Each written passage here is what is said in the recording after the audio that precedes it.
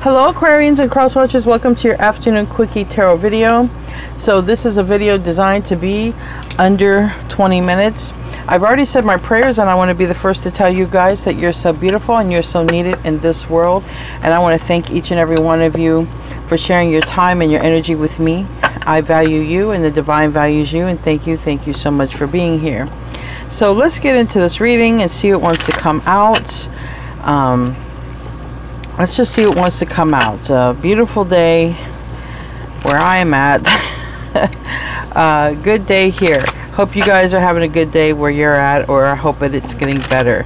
Anyway, let's see what wants to come out here for this afternoon quickie tarot reading. Oh boy, engagement.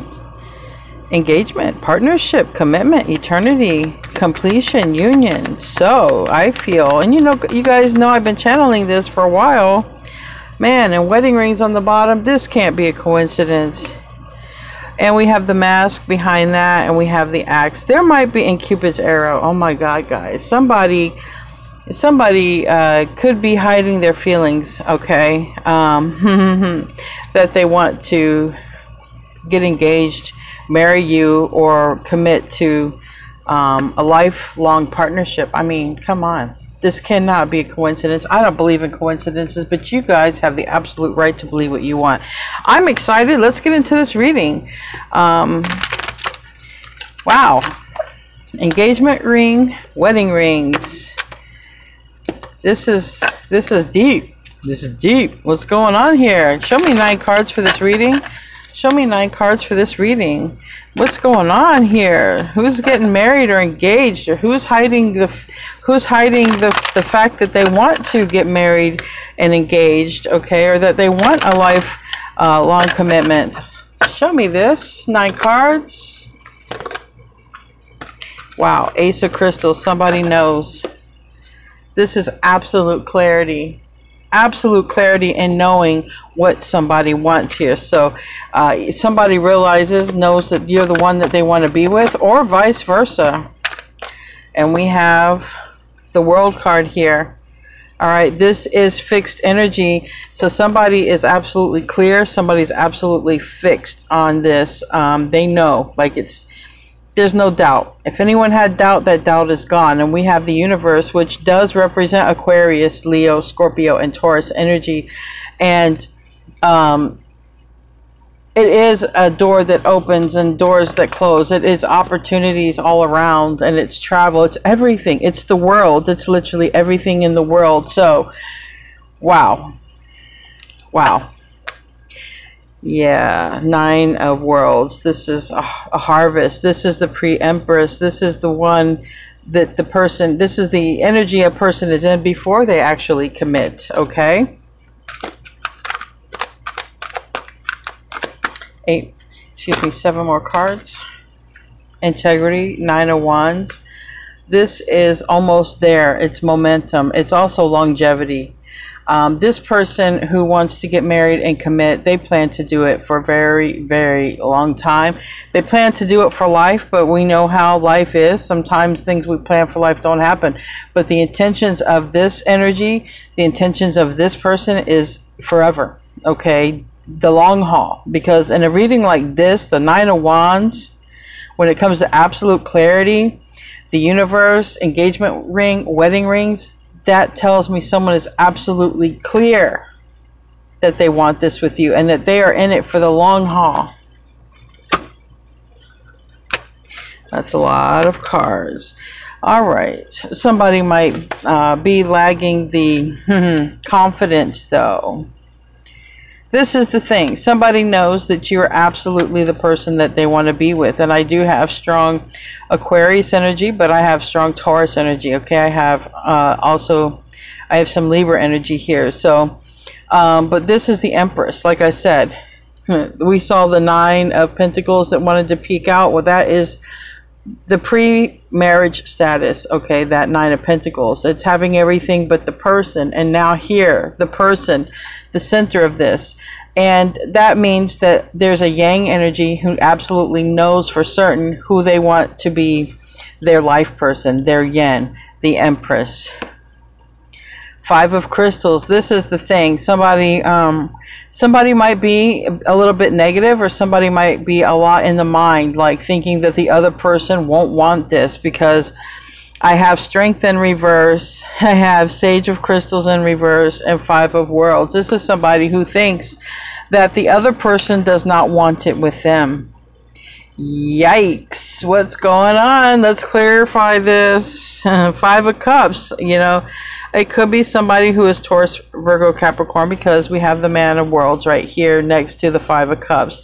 There's somebody who wants this, um, but somebody with the Strength card. And we also have Leo with the Strength card. Somebody might might have a little bit lower confidence in thinking that the other person wants this as well. So, wow. Jeez. Ace of Crystals, let's clarify this. That blockage. I can feel the blockage of somebody's energy. Tell me about this Ace of Crystals. Seven of Cups, all right? This is the thing. Somebody's absolutely clear about you, but confused about if you want the same. Yeah and somebody's also fantasizing about this. Look, this is a card of fantasizing. It's a card of dreams. They could have even dreamed of you and them, okay, being together. Um, and this is a person who could be confused, you know, not knowing if you want the same thing, okay, or vice versa, okay, if you are cross watching and it's the other way around. But I can tell you it's a yang energy who is looking at the yin and there's no gender with that okay? They can be man or woman. This is a ten of cups. Someone's literally dreaming of this with you fantasizing about it but also a little bit confused when it comes to well you want the same thing because man the lovers and look you see how this we represent in pictures we always represent a male um, a male body as a masculine, but let me make it very clear. There can be women who are in the yang energy, there can be men who are in the yin energy, and this person is absolutely struck. um, this person is absolutely clear, all right? And we have that lover's card. And that here is on the bottom of the deck, but this is King of Swords reverse and King of Pentacles upright. So there could be there could be an earth sign who definitely um, wants long-term marriage commitment um, with an Aquarius, but we have King of Swords in reverse. Remember, somebody has not said this, okay? Somebody is keeping it secret. Wow. And then here we have union. This would be marriage in this card. Um, this could be somebody literally offering marriage. Wow. Oh my God. This is such a good reading. Tell me about, uh, continue on here. Tell me about the universe. This is a good reading that would be great to have an extended. um, someone's coming in, all right? And in this case, the Three of Cups is a really good sign. Someone's coming in for union. Remember, this says preparing for union here.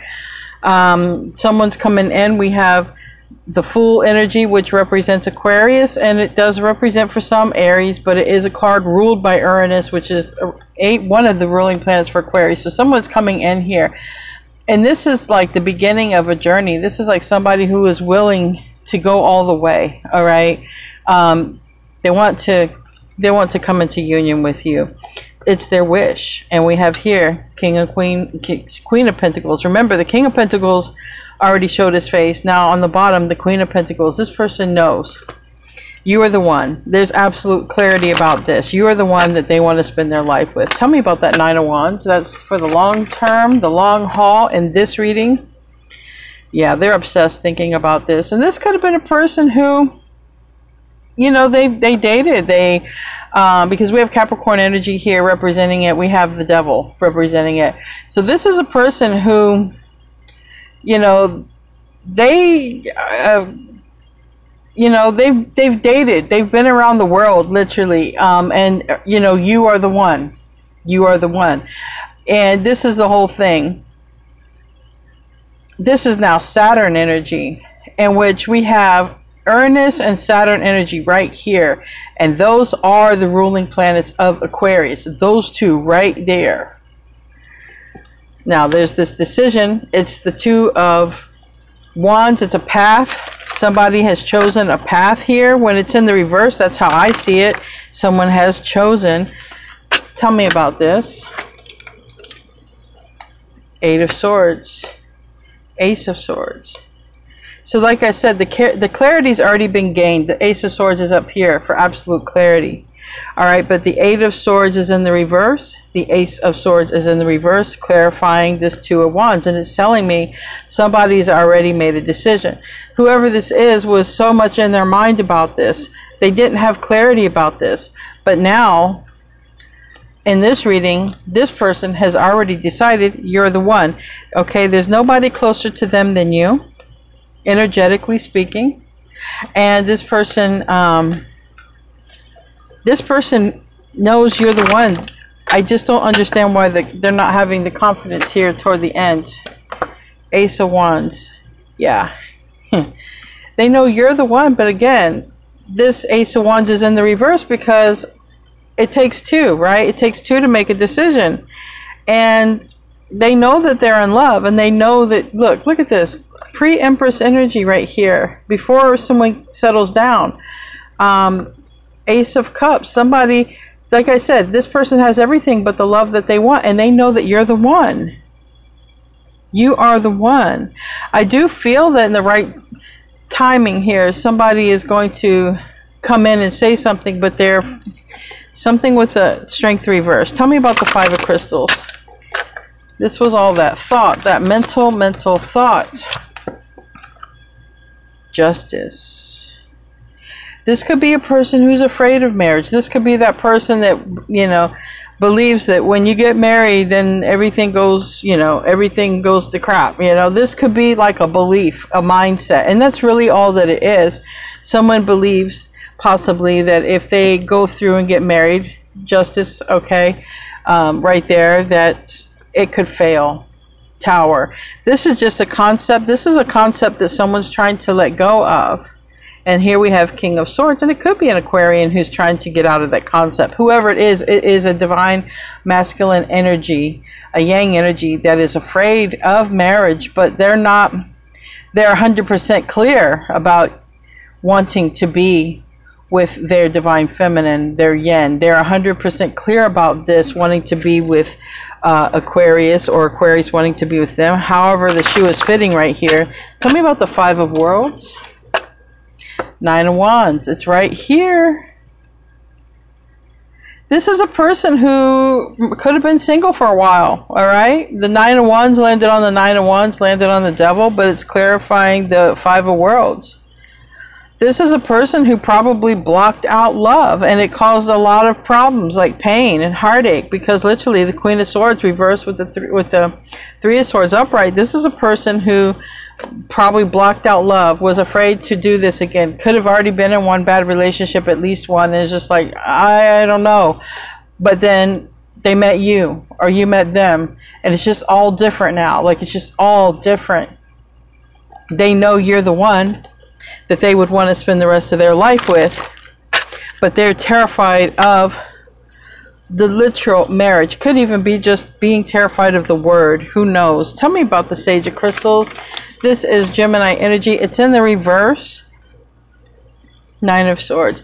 This person is is in the process here. They're really getting out of their head about this. They've been they they're really afraid of the M word or or they're afraid of, you know, they're terrified. They could have seen something, maybe the parents' marriage didn't last. Who knows? It could be any kind of thing.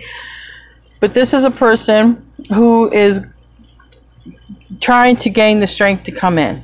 They really are. And when I see the Queen of Wands reverse and Strength reverse, this is definitely a confidence issue. Someone is uh, someone is really not confident when it comes to reaching out, but damn it, they want they want to marry you. At least spend the rest of their life with you, move in. this is what's in their feelings, and I can't help but think with the Moon card that this Pisces um, eclipse that we had did not help but to trigger this. Tell me about the strength card in the reverse. Yeah, but it don't matter because with this Cancer energy chariot, they're coming in soon. and they don't look confident. Like if you look at the face on this card, this face, they don't look confident, but they're coming in anyway because how are they going to know? How are they going to know? Yeah. But they've, look, they've decided. They've decided you are the one lacking a little bit of confidence to come in and tell you this. Wow, let's close out. I don't know. I'm trying to keep it under 20 minutes. This would have been a great reading to do an extended reading. So I do have those coming in the future. And it says last quarter moon in Gemini. I did have Gemini there. And it says clear your mind. This person is doing that. They're clearing their mind. Um, it's a confidence issue with them but they're 100% clear about you being the one. Anyway, guys, I love you. Thank you for tuning in, and namaste, my friends.